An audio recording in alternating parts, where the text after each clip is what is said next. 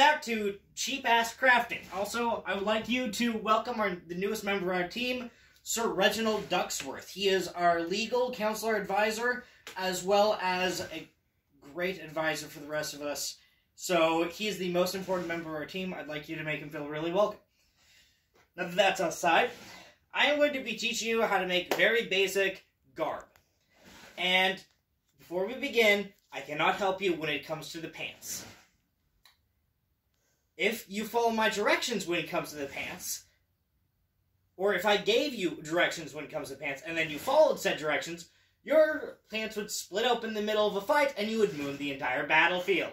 So unless you're just really wanting to be a streaker, I'm not putting that. But I can do a cover.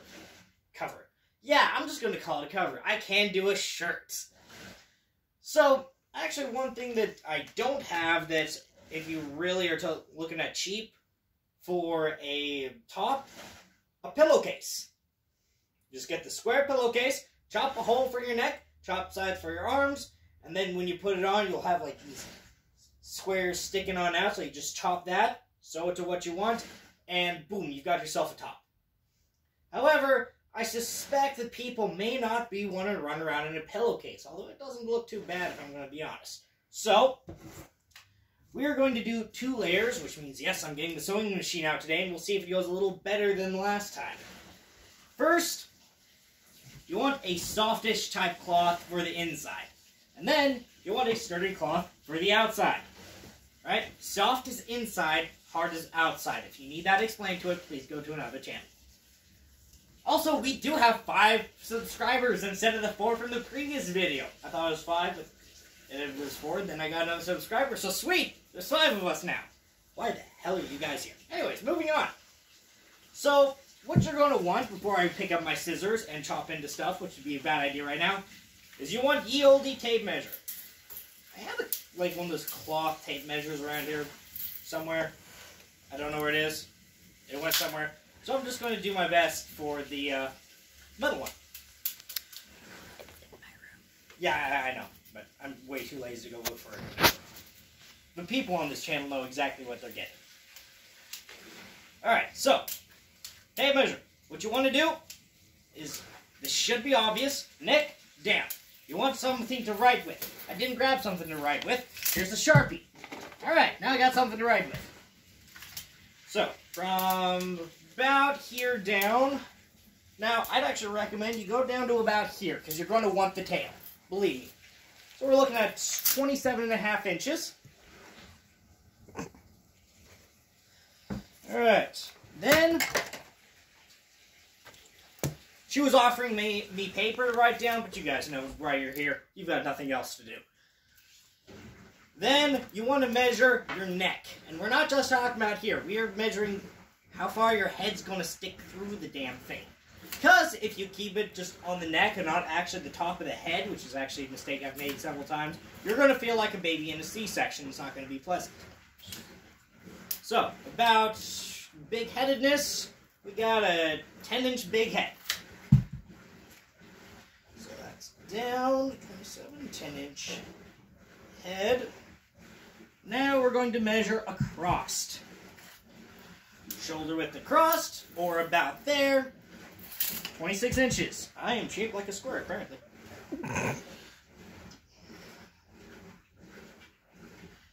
So, what we're going to do then we're going to take our handy dandy piece of cloth. We are going to double it up because honestly, just trying to sew two pieces of cloth together and trying to get it correct, it's a pain in the ass. It's going to be a pain in the ass enough doing the top cover on it. We're just going to try to make it simple on us. So, you're going to lay your cloth on out. Make it on the floor, I would recommend, hence why I'm doing it on the floor. And we're going to grab the Sharpie that we forgot and the tape measure that we chucked somewhere. Did you see where I chucked the tape measure? Oh, there goes the Sharpie too. I'm gonna go grab the uh, other one. Nah. Ha! Found it! Persistence, people. That's the key to this. So you're going to get down on your knees and not get paid for it. So first measurement is across is 27 inches. That right? No, no, that's not right. That's down 27 inches. Oops. So we're going to realize that we did a horrible job on our measurements. We're going to make 20, 20 and a half. That's a little, that's a little better. I should have thought that it was weird that I was two and a half feet across. But hey, that's why we double check our measurements, kiddos. And don't worry about marking on the interior layer. No one's going to see it. So, mark there. Over here, mark here. Then down, we did 27 inches. And you're not going to worry about the head right now.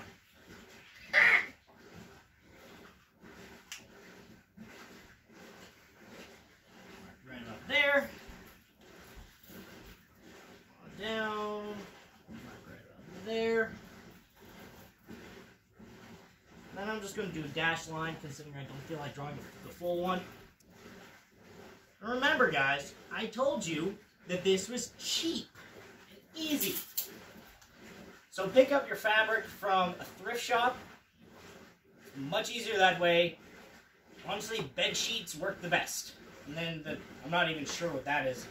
The guy, even the owner, was like, I don't, I don't know what the heavy fabric is. As near as we can figure, it's like a tablecloth or something. All I know is it's sturdy and it'll hold up well against the weather.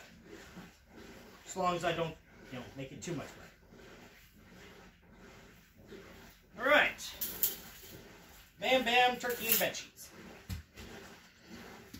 Ugh. Trusty scissors. Crawling around on the floor because you had nothing better to do with your afternoon.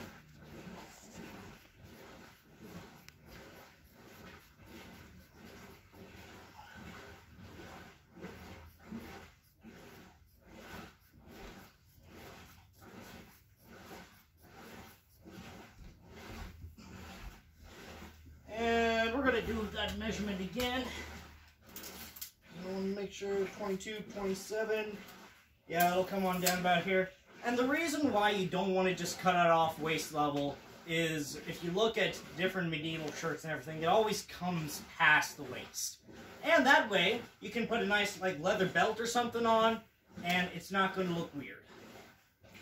Okay, it's still going to look weirdish, but it won't look as weird. Heaven forbid someone wants to tell, say that I meant my words specifically as I said them.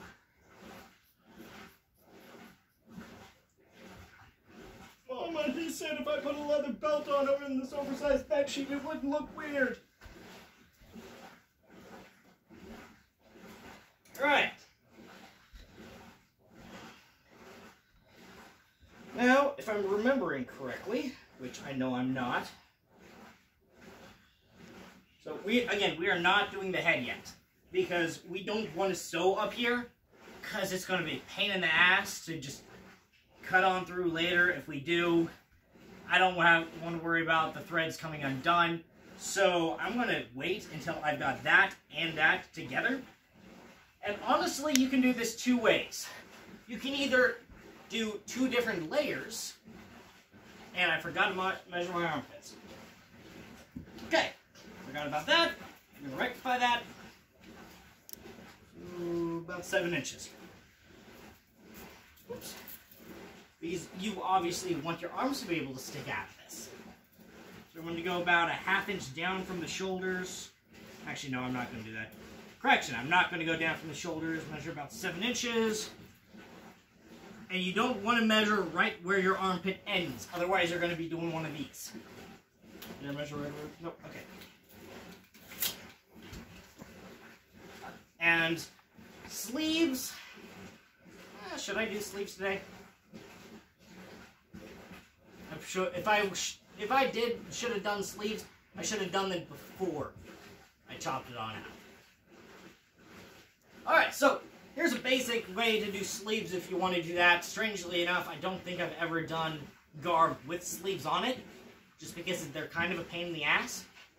But what you do is you measure from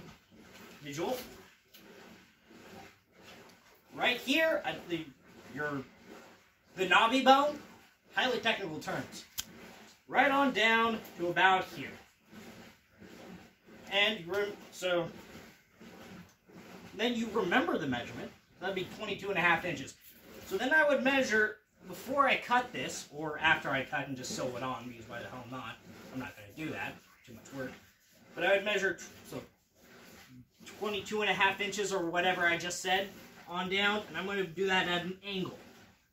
Because if you do it straight, it's, going to be flop flop around. Just do it at an angle, trust me. Have I ever steered you wrong? Recently? So then that mark where I put down here, seven inches, where it's going to go past the armpit, you're just going to do another diagonal line on down. You're going to cut it off straight. You're going to sew those together. You're going to flip it inside out. Really doesn't take much effort. If I thought of it, I would have done before I did this, but I already did this, so we're not going to worry about it. So back to you could do it two ways, which I need to stop going on tangents. Is you can either make this just a single layer and then do the second layer on top, or you can go ahead and do the second layer on, and I'm just going to do the second layer on. Why? Don't ask me questions I can't answer. We're going to set this aside on the handy dandy box. This is where you have to be careful about marking, because it doesn't look like there's a difference to either side, but if your cloth is going to have two different sides to it, you know, the nice shiny one and then the side that nobody sees and gives a shit about, you want to make sure that you do your markings on the side that nobody sees and gives a shit about. Because they are going to see the exterior of this one.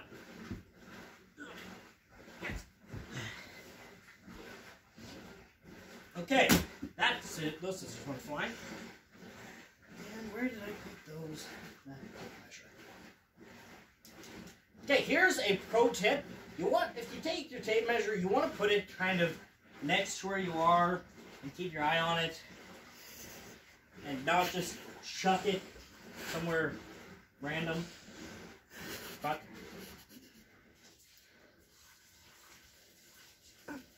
Well, this is a great thing. This is actually perfect because now I can show you what you do if you lose your tape measure.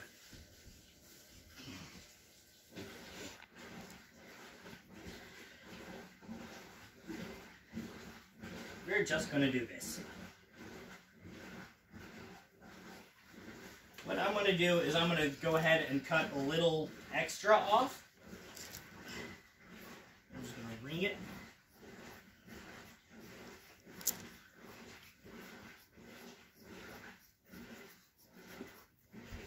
And don't worry about the cutting off looking pretty. Once you get it free from the rest of the fabric, then you can do whatever the hell you want with it. And also, if you want to conserve the cloth you use, don't be a dumbass like I just did and cut in the very middle. Cut from the side. I feel like that should be obvious, but yet I cut from the side. I mean, middle. Do as I say, not as I do.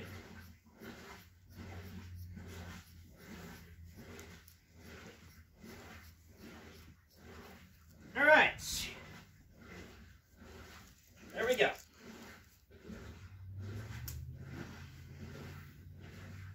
Alright, the pants. Uh, suggestion for that is if you can't find someone who can make them, go ahead and get the pants for martial arts, the lower halves. You should be able to find some pretty cheap, and you can dye in whatever color you want.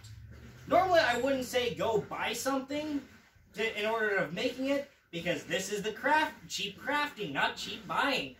But again, I cannot teach you about crafting pants. Go find someone else. Or just do as I do that. Hey, good news is I found the tape measure. We're gonna get go on over here to the handy dandy sewing machine. I'm going to attempt to remember how to use it. I'm going to grab the tape measure since I just realized I still need to cut the hole for my head. And as always, you can do this several ways. Now you can either go ahead and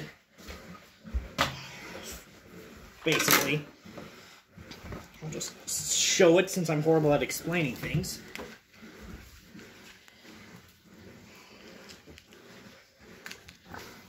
You could theoretically just lay these out, and then do all your sewing. and Just put them together like that. What I mean by that is, basically, you go like that, make it look all pretty, and then sew. Just go ahead and sew through all the layers and make your make the top of the garment that way. But I'm not going to do that. I'm going to make it extra needlessly complicated. Uh, give me a second. Allow me to shed shed some light on the subject. There we go. Mostly because I need to figure out if I need to put more thread in this. That actually should do it. If I run out of thread midway, I'm going to remind myself that I'm like, "Ah, I don't need any.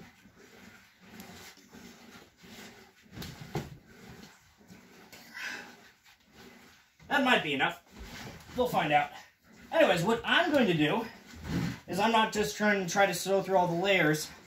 I'm going to sew the inner layer to the outer one and do a ringing around it.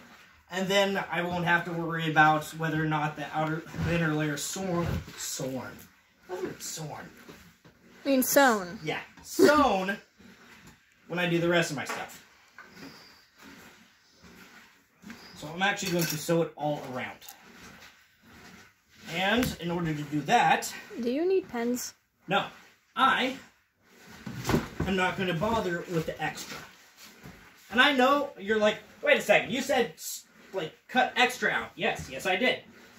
Because you wanted to overlap a little if you're going to do an X the layer separate, which is honestly it's a lot easier. I advise you do it separate. I'm just being stuck. But what I'm going to do is I'm going to make sure that it's overlapping on each side. So I'm going to pull this up a little. I'm going to sew it all the way around and then I'm going to trim it. It's going to look a little nicer, look a little neater. It's going to use a lot of freaking thread. See, I didn't cuss on this good, good fucking channel. Uh, my old rival, making sure it's threaded. Do you need help with that? No, I've pretty well figured it out by now. Okay. Three seconds later, I need help. If you ever do, just let me know. I had to look up this like ten year old YouTube video how to thread this thing. It's okay. I learned my lesson. I have an older machine in the other room, so you're fine. There we go. I think. Shit. Nope. Techno. We're having technical difficulties. We'll be back to regular scheduled broadcast in a moment. Do you? Do you? No, I got it.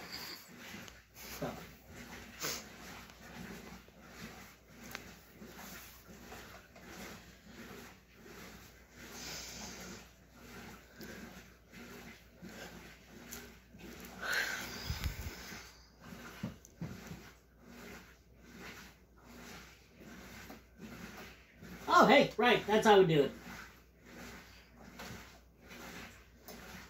Welcome back to your regularly scheduled broadcast. And I'm not going to trim it all the way when I finish this up, but I am going to trim it nice. So we've got that sticking out the back, we got that sticking out the back.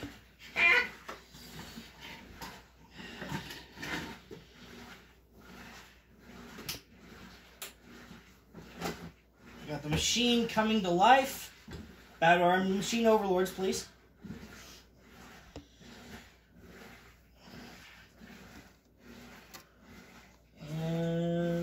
Drop that down, and now for the boring part. Ouch. As I stab myself with my machine. Ah, shit. It would also help if I remember which way the cloth fed.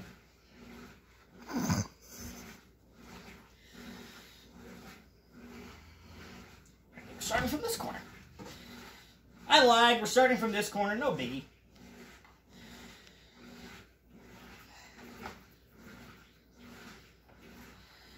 That in there. Al- I'd also like to remind my viewers you did not come to the pretty or the professional crafting. You came to the cheap.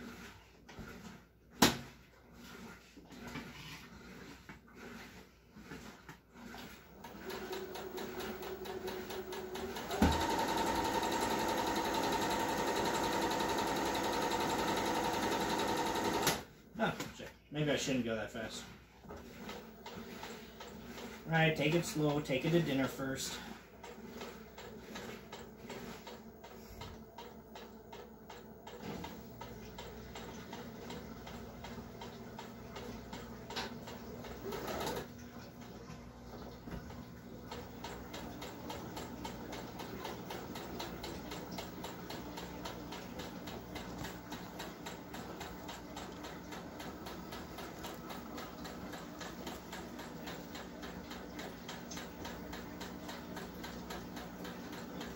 So also, well, when I finish this video and I get it uploaded, right before I do that is going to be a mead video that's uploaded. How to craft your own mead. That one I'm going to make age restricted for the sole purpose of I don't want to be responsible for a kid making learning how to make mead and then saying, oh, I found it on this YouTuber's channel. And I know that a age verification doesn't stop a determined 12 year old, but I want my ass being covered. So.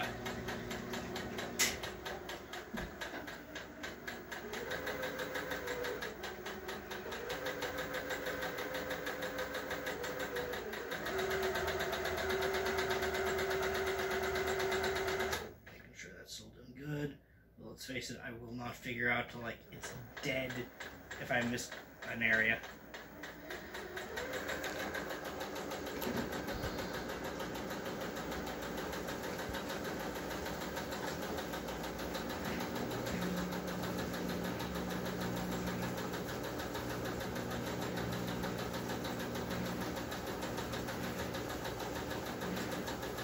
And when I say trim it, I just realized I didn't specify. When I say trim it, I don't mean I'm going to trim it back to the inside. I mean I'm going to make these edges look nice, and so I can just deal with the outer edges instead of worrying about the inner. Because I can't exactly trim the inner ones back since I measured them so close. And we are about out of thread.